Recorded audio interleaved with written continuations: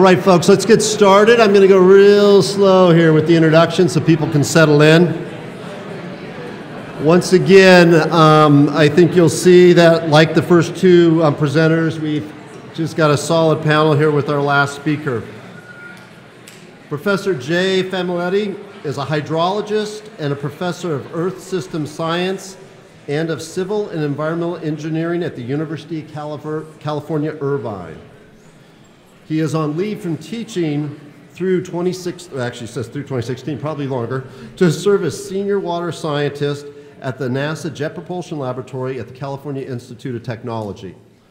In 2013, he was appointed by Governor Jerry Brown to the Santa Ana region of the California State Water Boards. His research using NASA satellites to track down dwindling global freshwater availability has garnered international attention. And as you'll surely see, he's a skilled communicator, and lecturer whose writing, government advising, speaking events, and media appearances are transforming how we look at water both at home and abroad.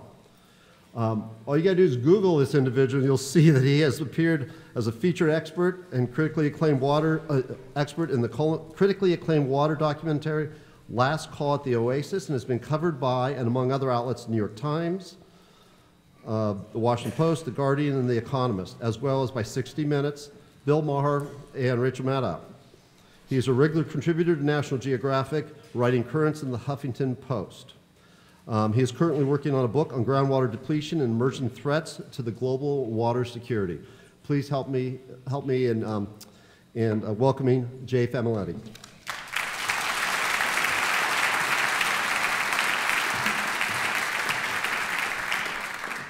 Thank you. Thank you so much. It's great to be here and great to uh, share the stage with with Jay and, and Felicia, and uh, hopefully we'll give you some some different uh, perspectives on some of the critical problems that, that we've been we've been facing. So uh, I don't have many um, salmon jokes that I, I, don't have any talking salmon. Uh, I think that uh, if we're going to use the the sandwich analogy, if Jay's on top, he's like the surface water top of the of the bun, right? And then Felicia is like the peanut butter and jelly that gives us like the substance, right? Uh, today I'm really going to talk about the bottom. I'm, the, I'm on the bottom. I'm talking about groundwater. Okay. Now it's ironic because I'll be talking mostly about work that we do using satellites. So, uh, as some of you know, we've been using a gravity-based satellite, which I'll talk about uh, today to, uh, to get a, a, big picture view of what's going on with, uh, with our groundwater resources and it's not just in California, it's really uh, around the world. And so you can get a flavor, although I, I think in this particular slide the color's not great, but uh, you can get a flavor of where I'm going to go with the, the color scheme there going from the blue, meaning a lot of water in 2006 or so, and then getting progressively, uh, progressively drier uh, throughout the drought period. So uh, I will start off by talking about uh, defining water security. Uh, we have a lot of different ways to, uh, to define that, and I go with a pretty straightforward definition, but we'll loop around at the end of the talk and see how it, see how it applies to, to California. Uh, then we'll talk about what some of the satellites are telling us about water availability. We'll focus on, on California, but then I'll show a few slides that zoom out and, and look at um, the rest of the United States and, and the rest of the globe and what's happening in many of our aquifers and then what the implications are, and, and uh, try to tie back into some of the policy issues, some issues that we really haven't talked about that much, and I think you'll see a lot of uh, overlap with, uh, with what both Jay and, and Felicia have been, have been talking about.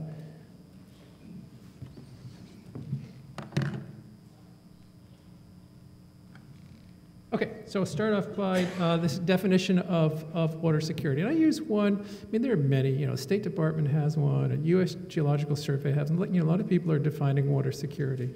I wrote a proposal a couple of years ago, uh, and I, I, just wrote down my own definition, which goes something like this. Water security, uh, I define it as uh, if a region or a government uh, can provide a reliable supply of potable water, uh, both now and into the future, uh, for that region to meet all of its uh, demands for the various uses, and those various uses can be um, agriculture, um, can be, should be environment. That's my, that's my, uh, my one uh, salmon joke, so I put that one in for you, okay? I had, I just had the bear in there before, so I went this morning and found like a bear in a stream eating a salmon. And so if salmon could talk, that salmon would be saying, holy crap. Uh, um, so we have our varying needs, right? And we have to grow food, we have to uh, uh, provide water for the environment, and we have to be stewards, and we have to have water for people. Uh, these are some of our neighbors in Porterville uh, who've been uh, um, sort of fallen through the cracks, um, as well as for economic growth and, and, and energy production. And so this is not, you know, as Felicia said, this is not a sort of us versus them thing. In fact, I, I will admit that while she was speaking, I was eating almonds. Okay? I'll share that with you. Uh, so, so anyway, now the other definitions are important too because they deal with some of the things that Jay was talking about and Felicia was talking about. So how are we going to be dealing with these extremes? How are we going to be managing water? And you know, Jay's point about uh, going from very dry conditions to very wet conditions shows up very well in our data, and I'll, and I'll show that to you. So these are challenges that are part of, you know, water management is part of water security. Um, and there's the terrorism threat now too that we that we have to talk about. So in the State Department definition, there's there's discussion of protecting water supplies against terrorist threats. So it's a different world that we that we live in now more than ever. Had to get that out there. Uh, and so that's all part of our, uh, our thinking when it comes to water security. So what are the satellites telling us about, about water availability? Uh, so those of you who've heard me speak before know that uh, this uh, particular satellite mission, which is called GRACE, it stands for Gravity Recovery and Climate Experiment, um, has really transformed the way that we look at uh, uh, freshwater availability um, at, at large scales. It was launched in 2002 Excuse me just a second while I reorient myself. Uh, so it was launched in 2002. Uh, it's composed of these two uh, satellites that are not very big. Um, they're uh, each about the size of maybe a couple of those, one and a half of those uh, tables, and maybe double double the width and one and a half the length. So they're not particularly big. Uh, they fly up at 400 kilometers, and they're separated by about 200 kilometers. Um, and I like to say that they act like a, a, a scale in the sky that helps us uh, understand changes in total water storage, meaning all of the snow and the surface water and the soil moisture and the groundwater together. So it gives us a very holistic uh, look at what's going on. Um, it helps us understand things that are happening at monthly and longer time scales um, and over large regions, 150,000 square kilometers and greater. Uh, uh, so why, does, why do we say that it acts like a scale in the sky? This is really the key. So most satellites, when we think about satellites, we think about um, we think about that street cleaner or whatever it is that's right over there. Uh, we, we think about uh, uh, you know, satellites that are up in the sky, sort of looking at the surface, taking pictures or sensing uh, electromagnetic radiation or bouncing radar beams off the surface. But GRACE is different in that it's sensing mass changes in the following way. Those two satellites, which again are not very big, uh, orbit around, they follow each other around the poles. Okay? And as they fly over a region uh, that has gained water weight, has gained water mass, like the Sierras this winter, right? a lot of snow, a lot of extra mass. The region has gained weight, it's gained water weight. That region exerts a greater gravitational tug on the satellites as they orbit over, and uh, the, the, satellites get pulled down just a little bit towards the surface as they orbit over the Sierras. So the first one comes in and gets pulled down, second one comes in and gets pulled down. Okay? Likewise, when they fly over a region, so that's the same thing that really, if you think about it, I won't go into it here because I haven't quite worked out the analogy, but it's basically the same way a scale works. Uh, uh, but when those satellites then fly over a place that's lost waterway, like the Central Valley during the last uh, four or five years, and you know, actually last century or so, uh, places that lose water weight exert less of a gravitational tug on the satellites, and so they float a little bit higher in their orbit as they pass over that region. So the primary measurement that's being made is a measurement of the position of the satellites. And by mapping out those positions of the satellites as they orbit around, uh, takes about a month to make a, a, a complete, uh, complete picture globally. Um, so uh, by keeping track of the position of the satellites, uh, um, we can map out the regions of the Earth that are gaining or losing water mass on a, on a monthly basis at this resolution of about 150,000 square kilometers, which is about the size of the Sacramento and San Joaquin and Tulare uh, basins. Uh, um, so I'll show you some of those images. It's allowed us to see some things that I think um, are eye openers. Um, and the accuracy is one and a half centimeters, uh, which means that the water storage change would have to be sort of the equivalent of one and a half centimeters spread over this area of 150,000 square kilometers, which is pretty incredible when you think about the fact that these satellites are 400 kilometers up in space and they're, and they're monitoring changes of a, uh, a centimeter. Uh, okay. Oh, yes. So the, the satellite um, uh, was launched in 2002, and it was meant to be a five year mission. Um, and well, it's 2017. Uh, so it's been going for 15 years, and so that's that's been incredible. Now the batteries are, are running down. We're only collecting about nine months of data uh, per year for the, for the last couple of years. But help is on the way in terms of what we call a GRACE follow-on, which will launch at the end of the year. GRACE follow-on or GRACE FO. It's the same mission. It's not going to get us any better resolution than what I just described to you. Um, we call it in NASA speak, it's called a climate continuation mission.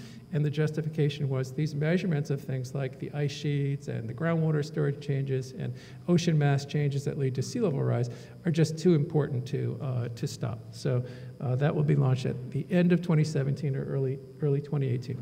So we just had our 15th uh, uh, anniversary or 15th uh, year birthday party for uh, for Grace and had some celebrations. And so it actually was launched in 2000, 2002 on uh, St. Patrick's Day.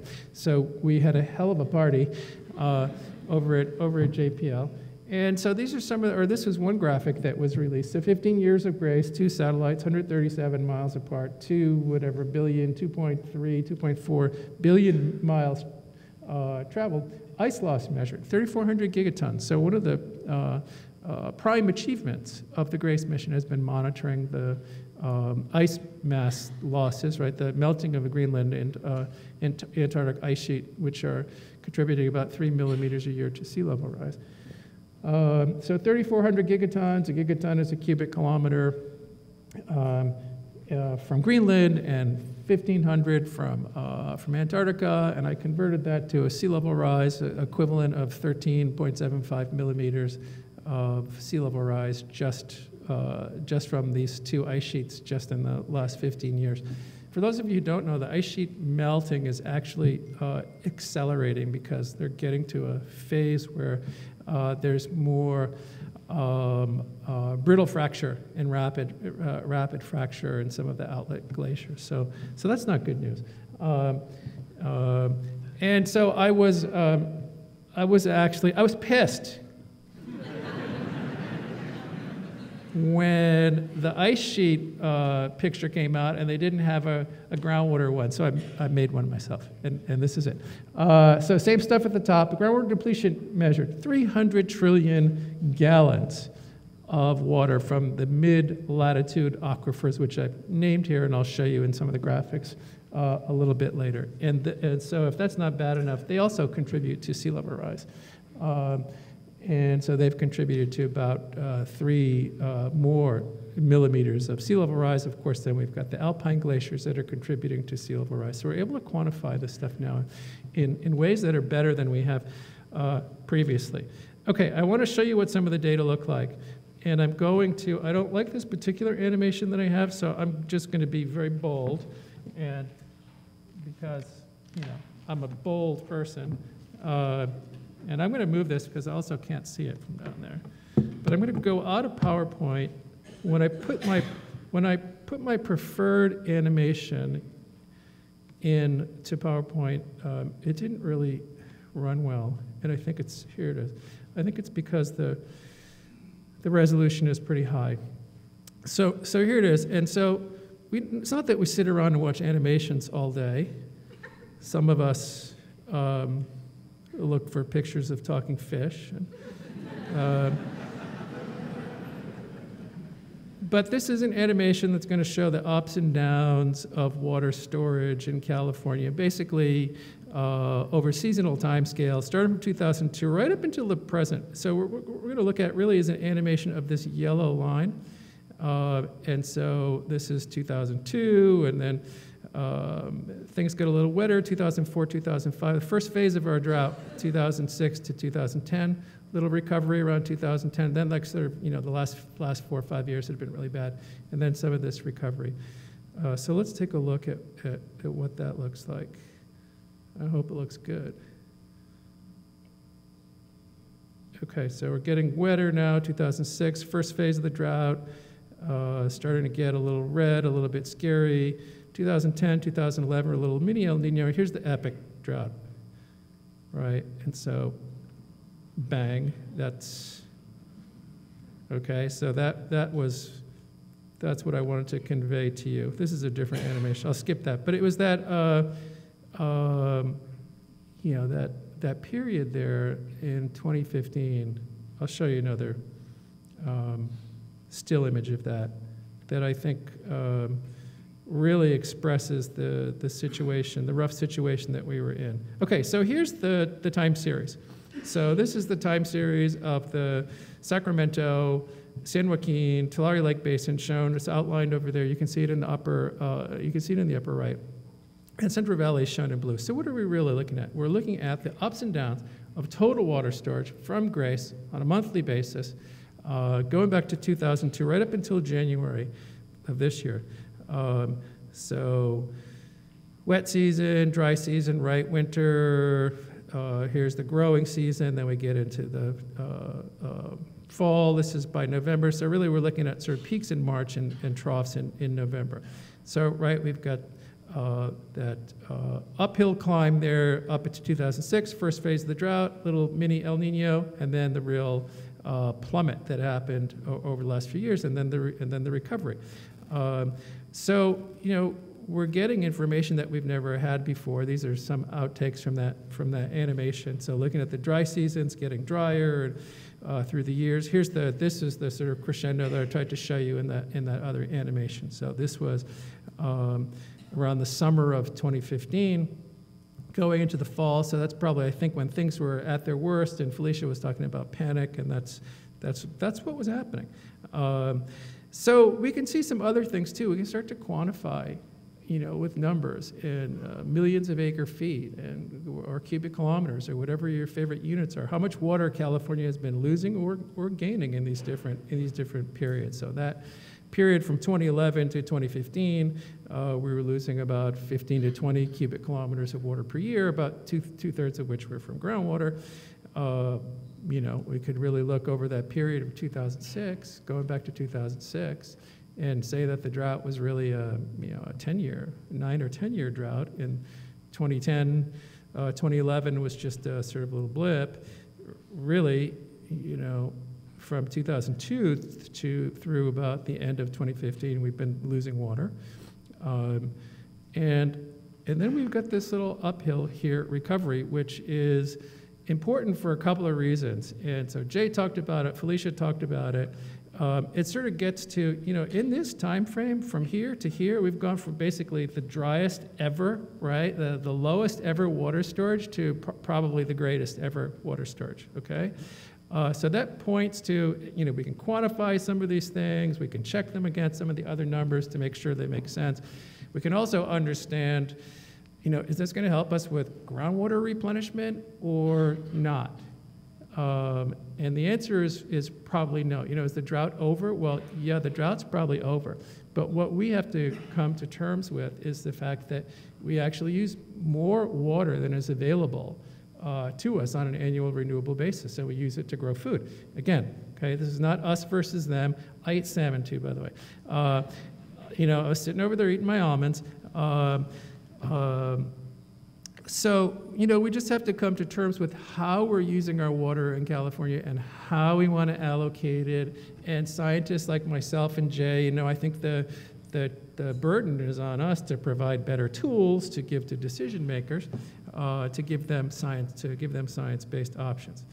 Uh, so, you know, there's a message here in this time series because what I expect is basically just another, just like we see a drop here and a drop here, you know, this is going to flop over, and uh, my guess is, you know, we're going to see another continued uh, downward trend here in the data. And so luckily we have this other satellite, the GRACE follow-on mission coming along to help us understand that. And the reason I say that is because of the groundwater okay?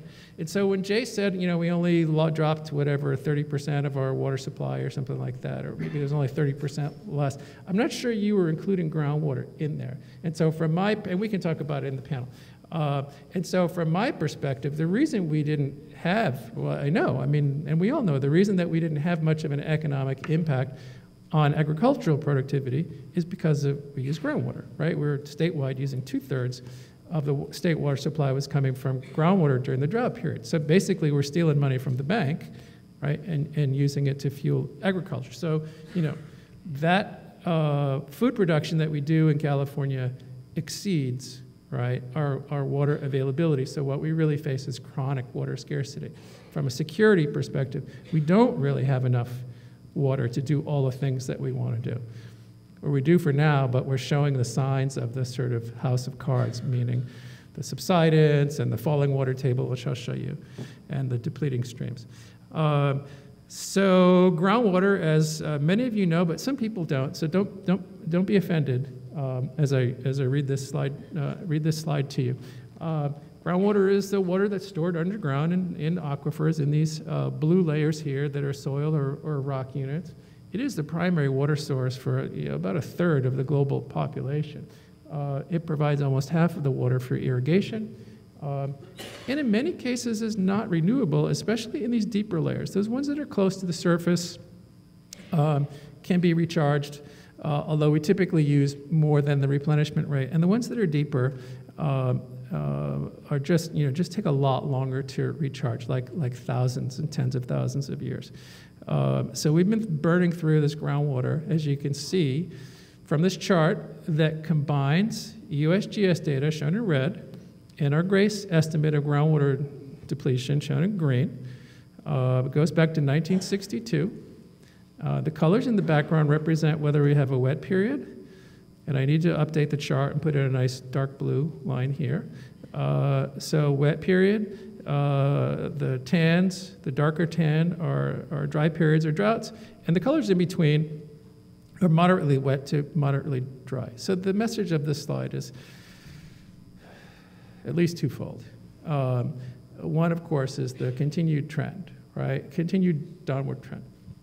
So average water table depth in the Central Valley is somewhere around 2,500 feet, right? This is a problem, right? Because the wells, thousands of wells are going dry, and it costs $250,000 to drill a well that's 2,500 feet deep, and not everybody, most people can't afford that. Uh, and there's a wait now that's over, uh, over a year long. Um, so we're headed uh, towards the bottom. Of course, we know that there's subsidence, which I'll show you in some of the next slides. Uh, but the other one sort of has to do with this very wet period and the overall replenishment. I mean, what we see here is very clear. By the way, the full story here is double this figure. So there's the you know, other half of this chart, which really goes back to 1932, and it's the same thing, uh, to the 1930s. So we use a lot during dry periods, and we only get modest recovery during wet periods, even the wettest periods, okay? Okay, big drop during dry periods, little recovery, big drop, okay? So that's our history. Will the Sustainable Groundwater Management Act change that? Um, we'll talk about that a little bit uh, a little bit later. So you know we're we're we've got a problem here, um, and it's been exposed. We knew it. The satellite data help us understand it a little bit more. The data that I'm going to show you now are not GRACE data; they're radar data, and we're going to talk about subsidence for a little bit. So here's this famous Joe Poland, USGS scientist uh, picture that Felicia showed. He's standing next to a telephone pole in the San Joaquin Valley with a telephone pole that has the 1923 sign at the top and the 1977 sign at the bottom, and that's uh, you know, where the ground was in 1923 versus 1977 when the picture was taken. So there's subsidence there that's happening at about a foot per year. Uh, uh, I like to compare subsidence to uh, the deflation of a tire, right? You let the air of the tire, bicycle tire, car tire, the tire flattens out. You let the water out of some aquifers, in particular those that have clay minerals. Clay minerals are flat. When you take out that water that's, that's pushing them apart, they flatten out, they stack up in the ground, and the ground subsides. Uh, so, of course, there's damage to uh, infrastructure that may be lying on top of that. And, you know, a lot of that storage uh, is really unrecoverable. So we talk about recharging and replenishing and artificial managed recharge. We're losing a lot of storage, and it is happening at some of the fastest rates ever. I'm going to show you this little region here, um, uh, shown in the in the box. Um, and so these are radar images. The top one is showing the uh, cumulative subsidence, how much the ground dropped from 2007 to 2011. So really, sort of the first phase of the of uh, the recent droughts. Um, and the blue colors there correspond to a couple of inches per year up to about six to eight inches per year. But then we get to 2014. Now we're sort of in the throes, right? Peak uh, peak drought. This is the growing season of 2014. And we see that those subsidence rates uh, jump up to a foot or more per year, a foot and a half per year in some places. Okay? The updates, this is from my colleague Tom Farr, by the way. Uh, so the updates um, uh, to this report, which came out in uh, tw- January 2016 and January 2017, showed in these regions subsidence in some of the in some of the most rapid spots. There's some of those spots shown in red. Was up to a meter per year. Okay, so about a quarter of the Central Valley has clay minerals is is susceptible to this. Uh, okay, so here's Joe, and we're going to Photoshop him and take him from 1977 to 2015 or so. Okay, so he's gone from there to here. All right.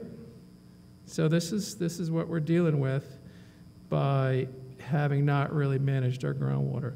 You know, uh, Felicia also talked about uh, panic, and I don't know if uh, any of you have seen this, but and and Jay, I thought your comment was a was a great one. You know, how do you control the behavior of 39 million people with their hands on the faucet, right, or the spigot or whatever. Uh, and so it's, it's a real social science problem. But, you know, this is what typically happens. It rains, and things are cool, right?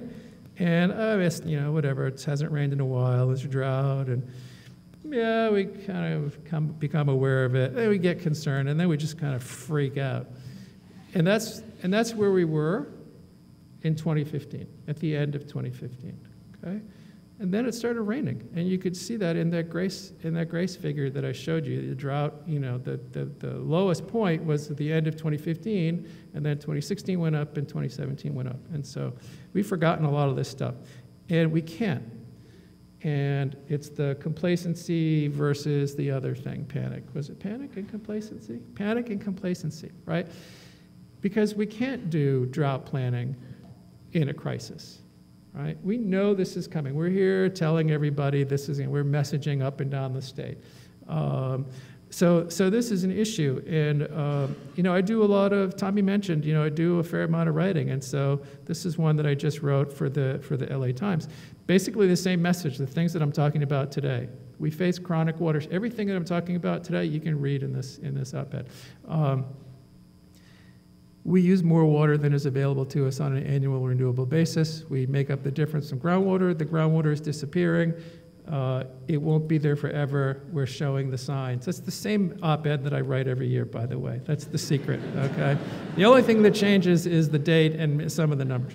Uh, okay, so. Um, let's move away from, from California. We'll come back to it. I just want to show you that the, you know we're not alone here. It's not like we're anomalous in, in any sense. So Colorado River Basin, uh, basically the same deal. We did a study a couple of years ago. We looked at our GRACE time series from about 2005 to 2013 or so. Again, wet season, dry season, wet season, dry season for the whole basin, but there's a trend. Where's that trend coming from? Is it coming from the water that we're taking out of our reservoirs? What, what's the role of groundwater here? Right? Is it, is it a problem in the Colorado River Basin too? And so that's what we see here in this lower figure. So we did some research to split apart what was happening in this time period with surface water in Lake Powell and Lake Mead, that's shown in red, and groundwater, right, which is shown in blue. And, you know, as you know, we manage our surface water heavily, and all the interbasin agreements in the Colorado River Basin are about surface water. There's nothing about, about groundwater.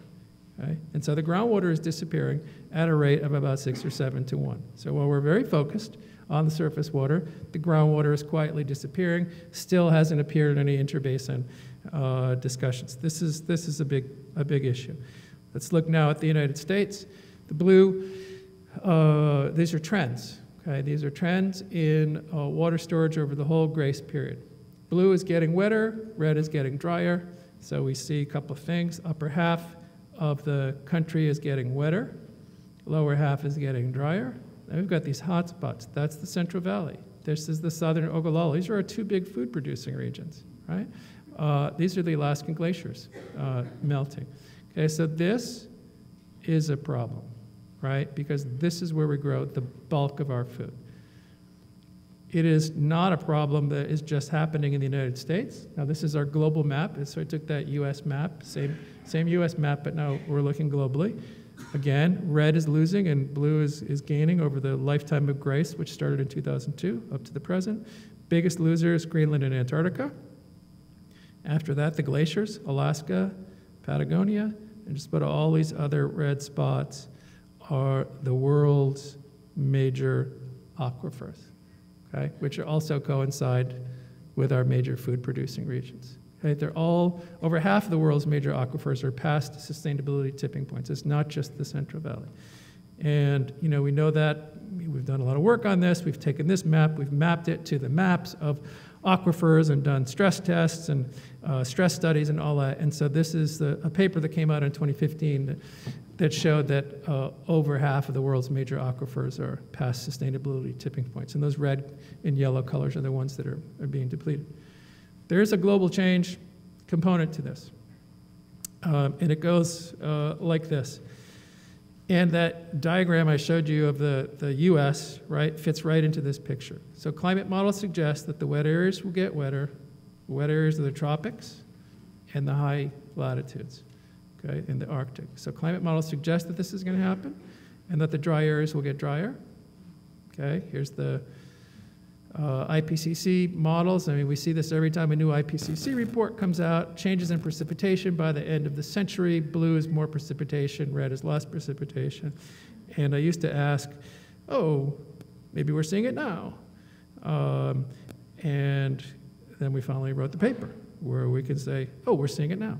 Um, so this is a plot of all the red areas uh, getting drier, and that's after we pull out the groundwater depletion. So this is just the background. Uh, and here's the, the wet areas getting wetter. Okay, uh, so what are the implications? Uh, so that's, you know, I don't have to say anything. I get a freebie here, right? Yeah. Uh, Okay, chronic water scarcity, right? It's not a drought. So, you know, the point there, we have to get into our thinking that, you know, droughts come and go, wet seasons come and go, but we just use more water than is available.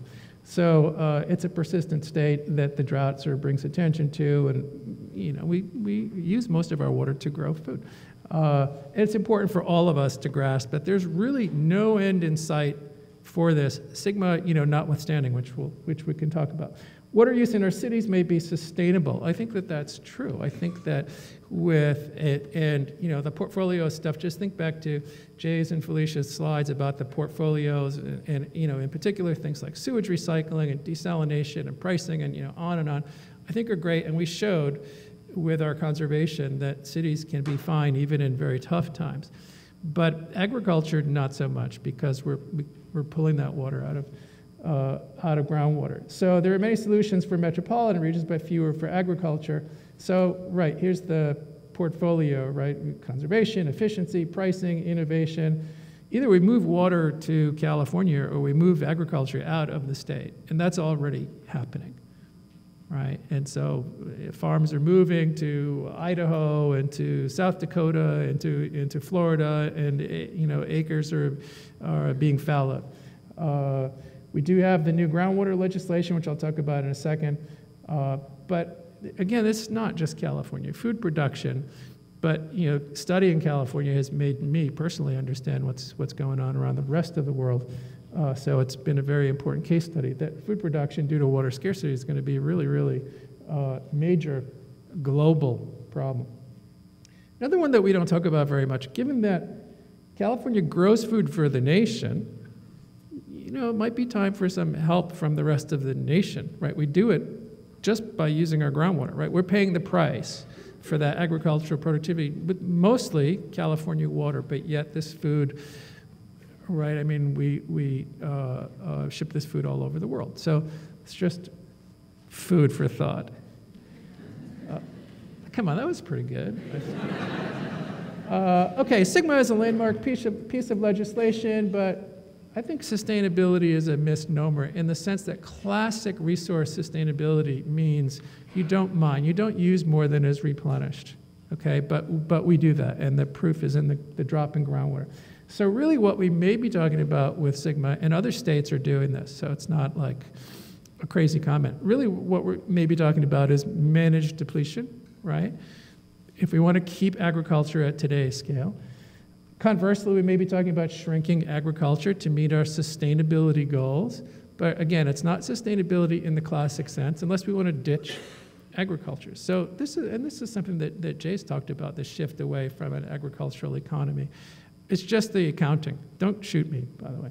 Uh, uh, oh, no, you won't shoot me because you're the salmon people. Right? Uh, and so SGMA is also an opportunity to embrace conjunctive joint management of surface and groundwater together. And this is a chart that I've never published it, but I've just showed it in talks. And it shows um, our GRACE estimate of groundwater storage change is shown in black.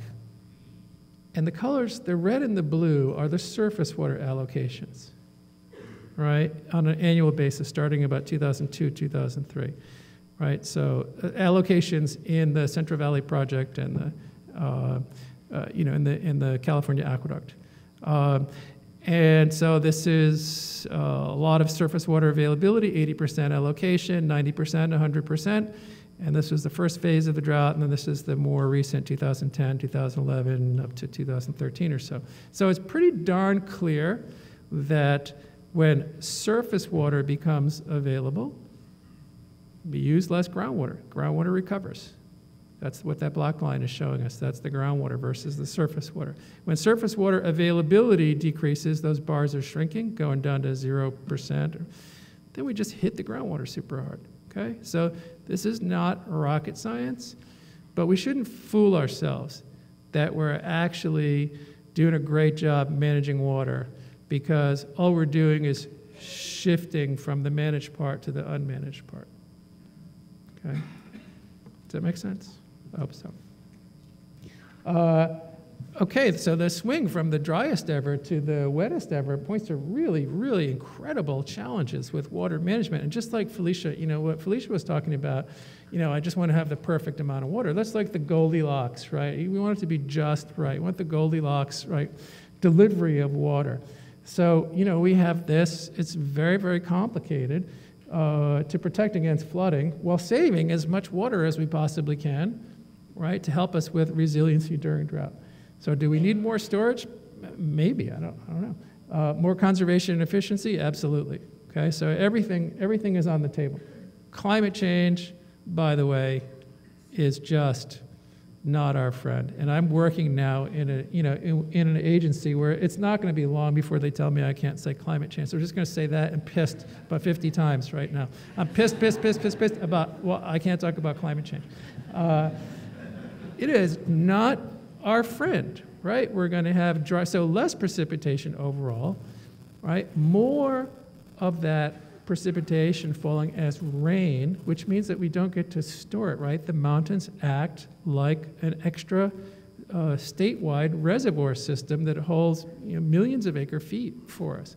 So when we don't have that, we don't have the capacity to store, even if it rained the same amount, we don't have the capacity to store that water. And so, by definition, our water supply, because of climate change, um, will shrink.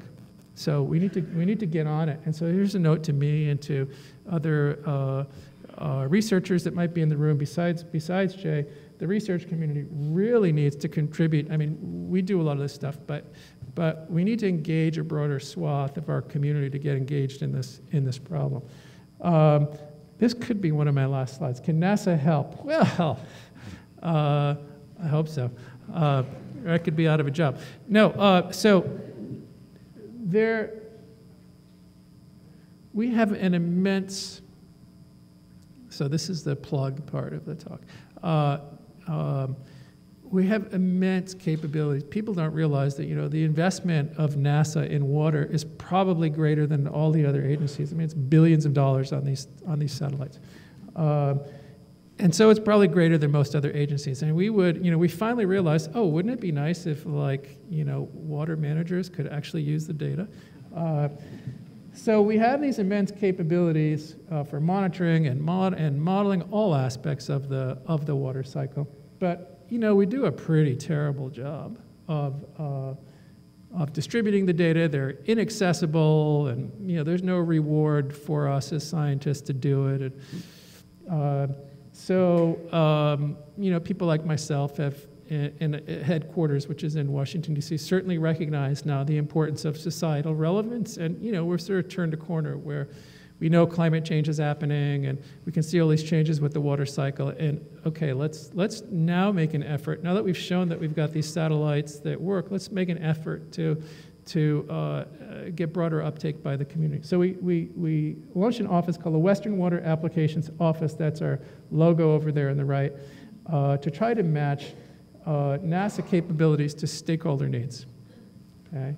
However, our bandwidth at present is limited. So I don't want to say to you, we can help you. Because there's only half a dozen of us, and I only spend 25% of my time on this. But um, what you can do is express your interest. Let me know if you think that, if you want to learn more about this work, if you think that what I've talked about today uh, can be of value to you, because the more interest we can demonstrate at NASA headquarters, the more we can grow the program. So we need to hear from you, and I just talked to some people this morning while I was finishing this slide and was late for my pickup. Um, uh, emailing my colleagues saying, hey, we need to have like an expression of interest form on our website so we can document the, the interest. Uh, because we really do uh, want to be able to be of assistance at the smaller scales at which water management decisions are actually made. And these are just some of the things that I showed you today when I didn't show you some of the aircraft measurements that my colleague Tom Painter uh, makes when he flies around in his it's called the Airborne Snow Observatory. So I will, uh, I'll finish, I'll finish there. Uh, and I think that's my last slide. Yep. Thank you.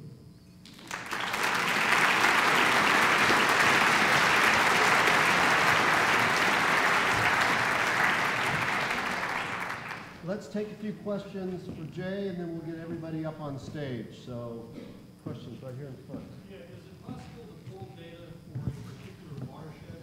If so, how small of a watershed could you pull data for? So it depends on, um, so the, the short answer is we're working on that. Uh, and the longer answer is it depends on what kind of data that you're interested in. So we're not really that good at it now, but we are really accelerating uh, the development of a website. So within a year, yes. Right now, no. But it in part depends on which specific satellite data. None of it's integrated. That's another thing we're doing with this office to put it all in one place. There are some satellite images like soil moisture stuff that you can that you can get at small scale. So we can talk later. But the integrated sort of holistic picture is uh, six to 12 months away. But we are in the trenches on that. Question over Jake. Yeah. Uh, in the global GRACE slide, the color coded slide you showed, Greenland, of course, around the edges was bright red. Yeah. The middle was bright blue. Yeah. Is Yeah, well, so that's not a, first of all, it's not a great Greenland image when you uh, uh, flatten it, uh, when you flatten out the map like that, it, it yeah, it, it, it doesn't look great. So the people that actually work, so I don't work on Greenland and Antarctica myself. So if you got slides from the real Greenland people, they would look different. But that being said, there is accumulation in the middle, and most of the and most of the melting is occurring on the edges. Ab- absolutely. So uh, it wasn't a research quality picture, but that is what's happening. Probably, maybe not as pronounced as what's in my in, uh, in my slide. You given this talk to water users groups, and and if so, how has it been received?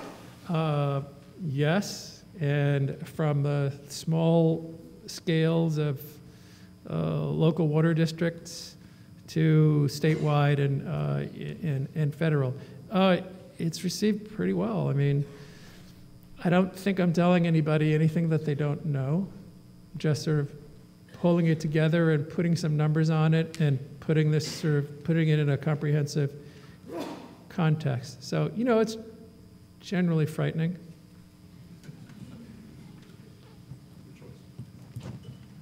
I'm just wondering, uh, what are the chances of your second satellite launch actually happening?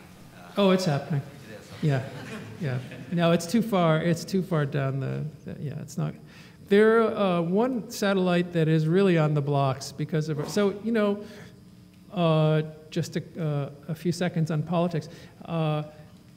We expected to get a modest cut in our budget, not the cutting of NASA Earth Sciences like uh, we heard in the news. We expected to go from 19.3 to 19.1 billion total NASA, you know, including all the space stuff.